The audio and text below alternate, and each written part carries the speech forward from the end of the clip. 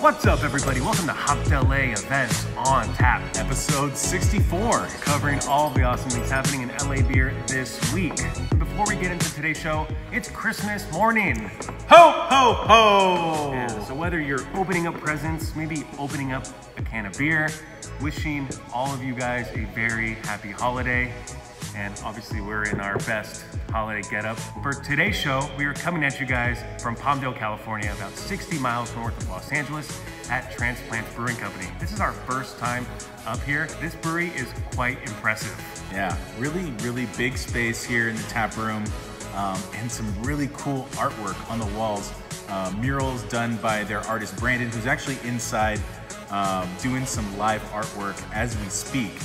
Um, arcade games, board games, a bunch of really, really good stuff to hang out and drink some beer. Oh wait, the, beer. beer. They specialize in all different types of styles of beer, but I'd really kind of put them into um, two different categories dank, resiny, West Coast style IPAs, as well as all different styles of beer with wacky, weird, crazy ingredients that you really don't see that impart some really cool flavors. So we have one of each of those styles. So yeah, let's get right into it. Let's what are it. we drinking? So I'm drinking Ocarina.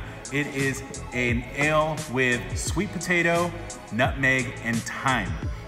Mmm, sweet, spicy, like a pie almost. Can't wait to drink it. What do you got, buddy?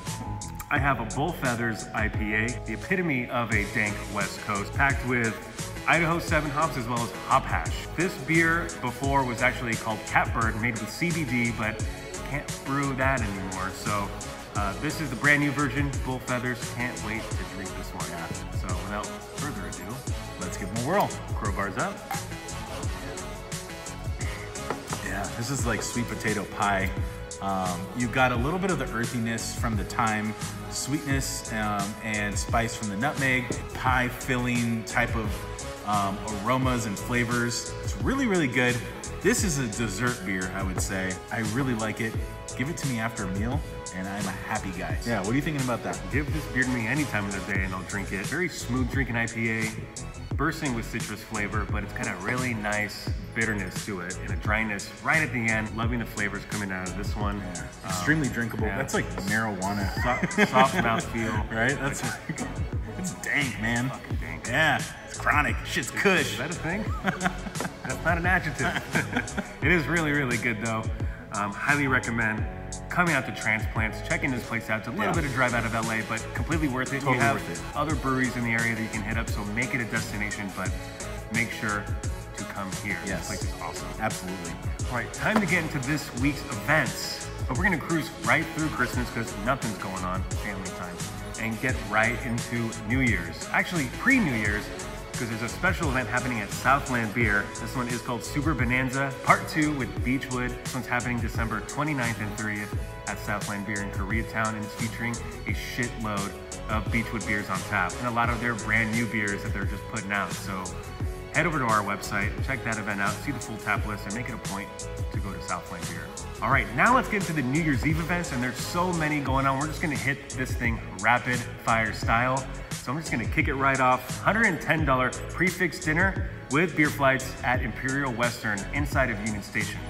Then Mikkeller Bar in downtown LA is doing a special event with Three Floyds, beer you don't see in LA very often. Yeah, Brewery West is having a yacht rock party, always a good time. Yeah, Surly Goat in WeHo is having a $65 open bar event. Might want to hit that up. All right, we got $5 drafts happening at Blue Palm Brew House Get much better than that. Yeah, Bluebird in Sherman Oaks is having a $75 all-you-can-drink event. Nice. Woo! Ooh, yeah. Tony's Darts Away in Burbank is having an $80 all-inclusive food and beer night. That's a pretty killer deal at Tony's Darts Away.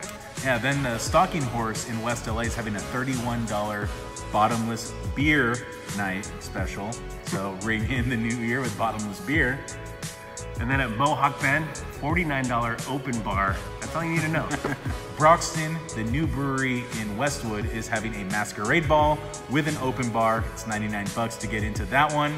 Then Lolita Ale House is having $30 unlimited pours all night long. Then Brewport Tap House in El Segundo is doing a special New Year's event, $75 for 75 ounces of beer and wine. They'll have some food there as well.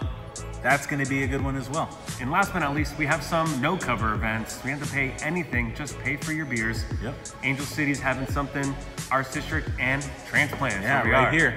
So whatever you guys are doing for New Year's Eve, be safe, have fun, and drink good beer. Yep. All right, so that does it for this episode of Events on Tap. Short but sweet. Yeah, there are plenty of delicious Transplants beers in there, including some very special Festivus themed beers. Seinfeld fans, you know what I'm talking about? Drink indie. Drink local. And Merry Christmas!